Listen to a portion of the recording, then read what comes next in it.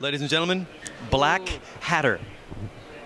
I like it. I haven't even tasted it yet. Welcome back to the Happy Hour, guys, and welcome back to a tradition that goes back to 2008. Looking back on all the places we've been in the past 12 months. 2013 was another bang up year, and in support of that, with this year end episode, we're going to give you even more of what you want. We started a documentary series this year called Beer Entrepreneurs, in which we ask questions of people out there that we feel are really movers and shakers in the craft beer industry. We asked the same questions to everyone, and we got a variety of really cool answers. We'll begin this retrospective where we began the new year, in our home city of New York. So let's get started. Here's a look back at 2013 and Beer Heroes. Welcome to our ongoing series. And I left that open because we haven't titled it, but I'd like to call it Beer Entrepreneurs. Mark, I'm going to hand the microphone over to you and we'll ask the first of our many questions. Here we go. All right, so uh, let's talk about who your who your your heroes are in the beer industry. I think uh, akin to music, they're all dead. So M- Michael Jackson at the first and foremost because uh, his his writing his writing style was really just so approachable for everybody, regardless of your actual interest in the product. However, you know the, the, the depth of knowledge was was always present. Uh, so every Michael Jackson book, be it any of the beer books or the whiskey book or any of it, you want to have every page of it soak into your brain. Yeah. So the only way to do that, obviously, is to drink a shit ton of beer. So there's that. Kind of- he, he opened it up for everybody. I mean, he, he really did. He opened it up. He kind of made the conversation start for so many people. So He started from a bar level and took it from there. Like he wanted input. Like he spoke to he spoke to people. He didn't speak to like you know this generation of of beer snobs. Beer snobs aren't happy people. They they look down on everybody. Like you know, beer geeks is one thing. Beer snob beer snobs are ignorant people. They should not be in bars. They should be put in a corner somewhere. Beer is about sharing. Sharing your experience. I never ever open a good bottle unless on my own, unless I'm surrounded by good people that want to share this and talk about this beer. Beer snobs to me piss me off. I don't want to see them. I want to share my beer. I want to talk good about it. I want to introduce other people that don't know about this beer to this beer. It's the most important thing for, for craft beer in America right now is to share that experience and let people know about it. Um, and what Cory was saying, Michael Jackson is the guy that started this up with with just culture and bar culture and, and appreciating good beer and that's what's most important to everybody. And you know what? It's beer. It's way better than what it used to be it's amazing right now and it's like it's it's i love the passion of it it gets me excited and uh, i just want like everybody to share this and that's why i strive to, to do what i do in new york to to introduce new beer to new people and, and get them to experience what i've experienced because it's exciting and i love it There's definitely love and skill in equal measure in craft beer, and every brewer has their heroes, as we found out at SingleCut in Astoria, Queens. This is one of my favorite parts of every brewery. Every brewery has their own little stash of things that they ah. love that aren't even that don't necessarily their beers, but Well, I'll have to highlight Heady Topper, which I'll go on record as saying is, in my opinion, the best American beer and one of the best worldwide beers. I don't think it gets any better for an Imperial IPA.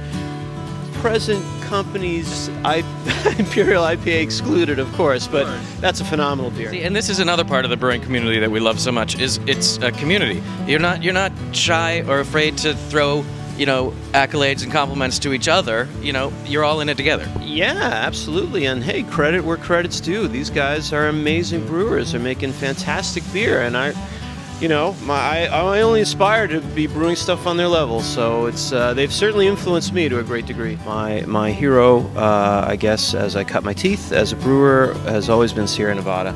I think that Sierra Nevada is a great brewery. Um, they they've never misstepped. Uh, they do everything to the nth degree of quality. Uh, regardless of the scale that they've they've taken on, the beer has never sacrificed. They've never cut any corners, and I think Torpedo is one of the best IPAs out there. It's a great beer. As far as who are my heroes today, um, they that's easy again for me to answer. Uh, it's a couple of the great breweries in Vermont. I think they're making the best beer in the United States right now. Um, Alchemist and Hill Farmstead. All the rules are going out the window. Like ev- everybody, oh no, you can't use dry yeast. Oh no, you can't filter. Yes, you can. You can do whatever you want. Uh, and and America is leading the way in that. You know, We're, you're not you're not beholden to, to the way styles have always been, and you don't. You can you can experiment. You can innovate. I, I've always said that uh, the U.S. of A. is the best beer producing country in the world. You know, we're not. You're you're absolutely right. We're not beholden to any, you know, 500 year tradition of doing X, Y, and Z. Um, we're doing whatever we want as long as the results are great. Then it's all it's all good. So in Astoria, heroes because of innovation. But at Idle Hands Bar, maybe just a little closer to home. Uh, honestly, my beer icon would be my dad. Really, uh, my dad didn't know that much about beer, and like he didn't he didn't uh, give me any education. He didn't like teach me about anything, but he had this passion for it that like he liked being drunk. He- come on, that's fine. But he, like my dad, basically was stationed in Germany in the, in the force. Oh wow! And this was in like the 50s and 60s, and so craft beer kind of didn't exist then. But he went to Germany and was like, "Oh my God, you know, I've been drinking Genny Light, you know, since I was 16. Pennsylvania, this is terrible. Like, here's all these great beers like Marzens and Vices. and like he came home and he couldn't get that, so he's always on a search to like find cool beer." Uh, or better beer, and so that had like a huge influence on me. Other than that, when I went to college, I went to school, Michigan State, Lansing, Michigan. I started to get like going into bars, and they would have like Red Dog, Ice House, Miller, Labatt's, Coors, and I would try them, and I'd literally be like, "Oh God, why do people like this? I don't understand. Like, what what is the attraction?" uh, and so I started homebrewing. I was like, "There's there's got to be a way," because we weren't getting sold a lot of craft beer at that point. So I was like, "I'm gonna go find out how to make it." And so uh, I had a friend who bought a. Uh, who bought a, a, a beer making kit, and that was our Saturday afternoon exploit. We, a bunch of us would go to his house, and we would brew beer every Saturday. And like, oh, what do you want to make? I don't know. What's a nut brown ale? I don't know. We can't find it in Michigan. Let's just make one. So it'd probably be my dad, and then Jason Jones, who bought the first beer kit. So Was there a particular brewery uh, coming up or a, a particular brewer in, maybe in the last 10, 20 years that was really like, wow, that person's changing the game? Uh, Larry Bell, Bells from Michigan. I mean that that was like the first time that craft beer penetrated the bars I was hanging out. Uh, but Bells, Bells was the first craft brewery where they like I was like, oh, finally a beer. This is good. This is like more of this. Definitely Larry Bell. Does anybody know where Shorts Brewing is? 2013 also brought another first for us the opportunity to headline a month long craft beer and burger tour, courtesy of our friends at Bagger Dave's legendary Burger Tavern. Over the course of four weeks, we shot at 10 breweries and hosted 10 events at Bagger Dave's stores in Michigan and Indiana, and it was awesome. Here's a montage of some of the places we visited and some of the events we threw. Ladies and gentlemen, welcome to downtown Detroit. This is Rebecca Raver, the Vice President for Marketing for Diversified Restaurant Holdings. Did I get that right? You did. Look at that! Yay! And we are journeying into the future. This is something that hasn't even happened yet, and yet we're, We're here. already there. This is going to give you a great idea of what this location is going to be carrying in terms of local craft beer. Let's have a look. Do it like you mean it. There you go. So, cheers, everyone. Drink well. To Dirty Water Beer. Drink well. Drink well, do good. This year was one of those where we had the hops to do exactly what we did, and the public just ate it up. They're sort of taking things you already know and putting them into the stratosphere and also introducing things you might never have heard of before. Making it Vivant. And making it vivant. I love that. That's what, that's what we're doing. If you could smell what we could smell, you'd be as happy as we are. I've said it before, I'll say it again. It's like having a three year old. Really big three year old. It's all about you know kicking ass and taking names. you know, we we make we want to make the best beer on planet Earth and, and get it to the people. So What's the trivia about Berkeley in the in the Berkeley script? Fred It's on the Goldstein invented the curveball in 1870. Oh, right! What was your revelation just now? Even the lettuce tastes better after drinking the beer. It's alive. Beer is a living thing. You need to know that. Beer is a living, breathing, spitting thing. We would be remiss without saying thank you, first of all, for Bagger Dave's hosting tonight So I'm just going to go ahead and drink this beer because it's really pretty. and sharing all of their amazing beers with everyone tonight. So, and of course, thank you, Sun King. Yes, Sun King Brewing.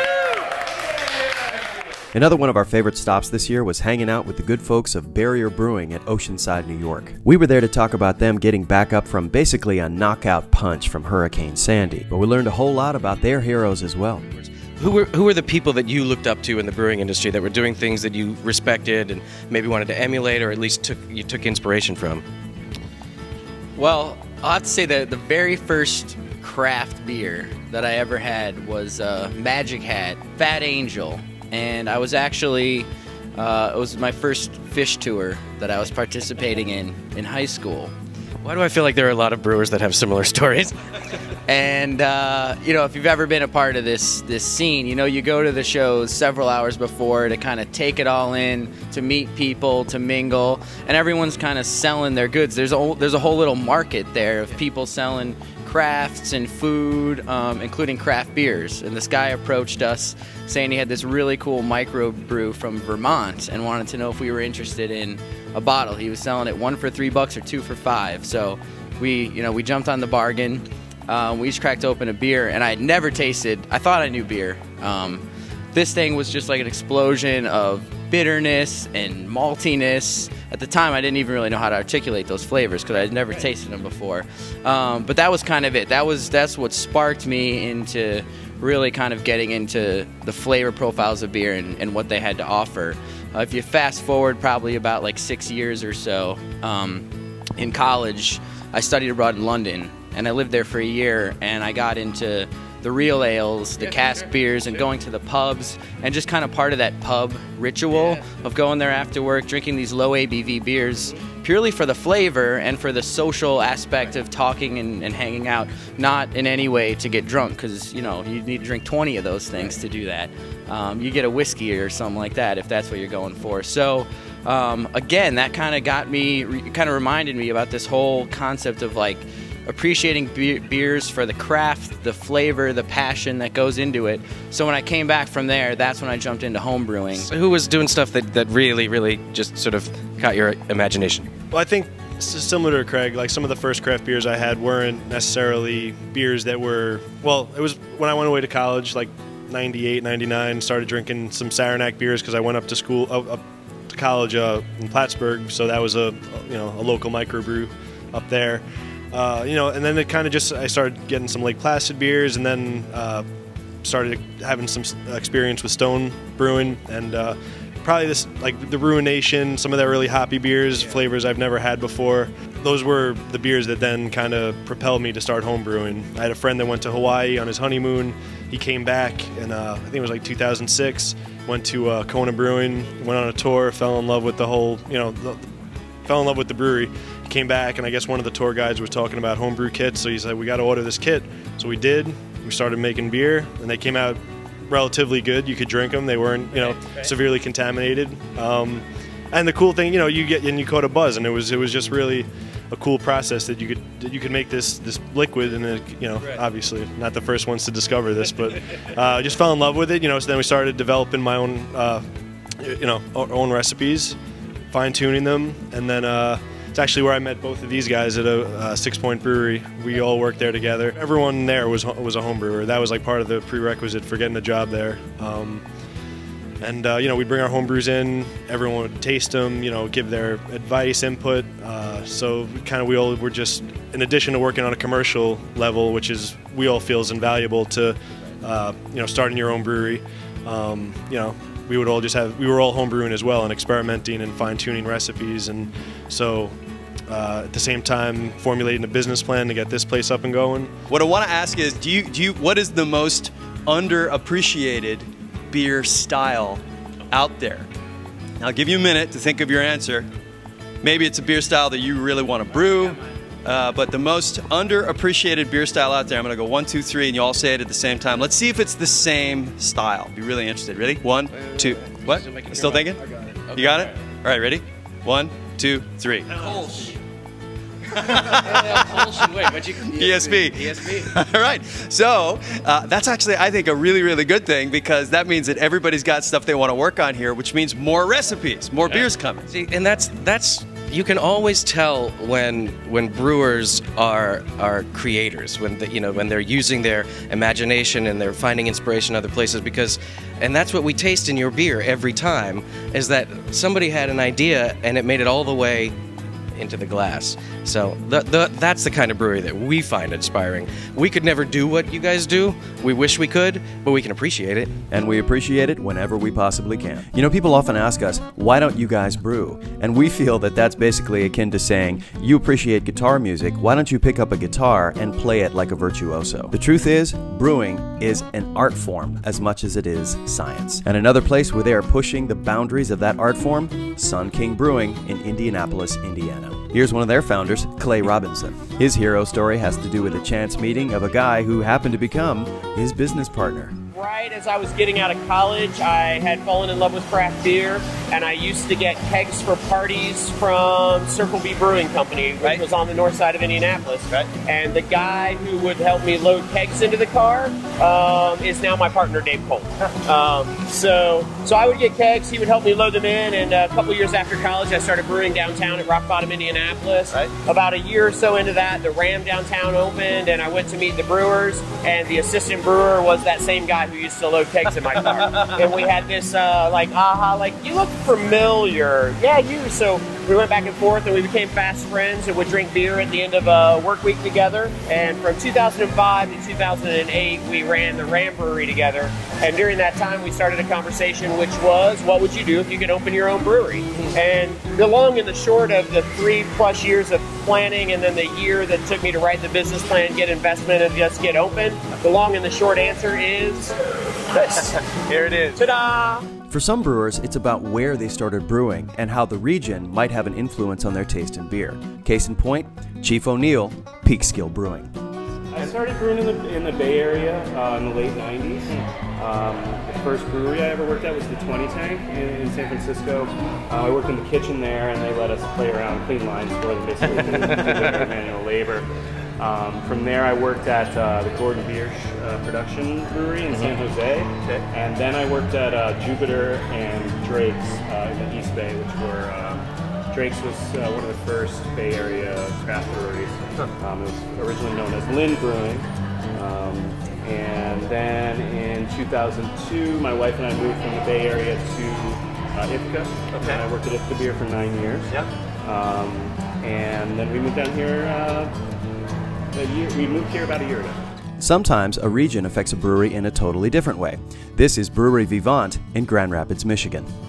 It all begins with a trip, right? So uh, I always love the Belgian styles of beer. It's a very like mysterious uh, beer. As much as you have beer knowledge, there's still something mysterious about how all that comes together. Yeah. It's really it's all about the yeast character of beer. Yep. And uh, a trip over to Europe, we visited all. My wife and I went there. We visited all these little small countryside breweries in Belgium and France. Uh-huh. All you know, none of them that anyone's ever heard of before. People drink the beer in this one village. You go two villages over, they've never heard of the brewery you just drank from, because they all uh, focus on those. But they're all these wonderful, very uh, characteristic, uh, kind of rustic. We call them farmhouse beers. You know, a lot of times they're unfiltered. There's uh, sometimes sour characters uh, to the beers. Uh, but we fell in love with them, and that's what we wanted to do uh, when we came back here. Another amazing facet of the craft beer industry is how it really crosses all barriers, as we found out at Union Craft Brewing in Baltimore, Maryland. You know, the beer that brought me into craft beer was uh, Pete's Wicked uh, Winter Ale. Whoa! Yeah, so I love the Winter Ale. Um, so that that's a beer that's like you know near to my heart. But pretty much I like drinking any kind of beer. Uh, you know, there's a there's always a perfect time for, for some sort of beer. You know, whether it be a Kolsch after cutting the glass, or a stout in the middle of winter, um, or a stout in the middle of summer. Um, You know, so I, there's there's no real favorite beer of mine. I just really like whatever I can get my hands on and drink. John and I are both doing a play at Center Stage right now that has to do with race. And you know what? There aren't a lot of black brewers out there. What's that like for you? Well, you know what's what's funny though is that like the authoritative brewer in America that most people turn to for stuff is, is Garrett Oliver. Yeah. You know, um, so uh, there's Garrett Oliver, there's Mustafa, uh, Michael Ferguson out in California for BJ's. So we're, we're here, we're, we're around, you know, but. Uh, there aren't, but there'll, there'll be more. I think as craft beer becomes more diverse. Um, craft beer is, for the most part, is very colorblind, and that's a good thing, and it's also a bad thing.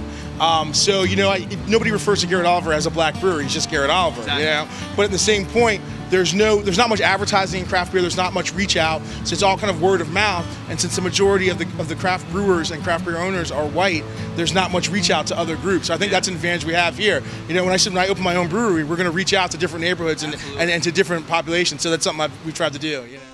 So I guess a perfect way to end this episode would be to talk about our heroes. Truth is, anyone who works in the craft industry is a hero to us because brewers make great neighbors. And all the folks that we featured in this episode, we have incredible and deep respect for. But none put it quite as succinctly as John Kimmich at the Alchemist Brewery in Waterbury, Vermont. So here's a little wisdom from John, and here's to 2014. We'll see you guys next time. Cheers. You gotta be, you gotta be a good human being to begin with.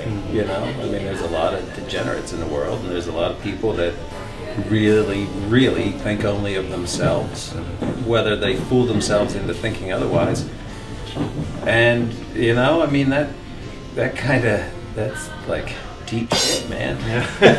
you know, you start thinking about But it's basic who you are too, as a human and what you want to leave behind. You know, do you want to just be anonymous and squeak through and leave nothing behind, or do you want to have some sort of greater impact?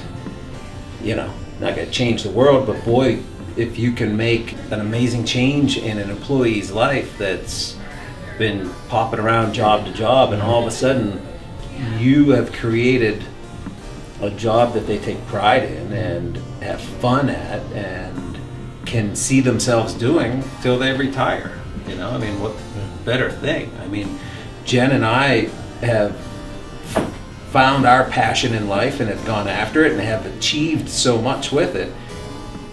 How can you spread that around? You know, how can Yeah. you give that feeling to other people? Because so many people are like, oh, I don't know what I want to do. I don't know what I want to be. You try all different mm-hmm. things, and a lot of people never find their niche. You know, so if we can help them find a niche and make that niche for them, I mean, it's a very satisfying thing for sure.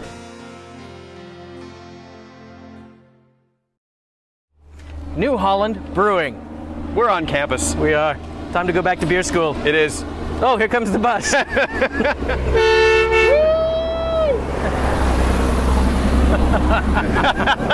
Cut. Brent. Brent. We're done here. We're done here.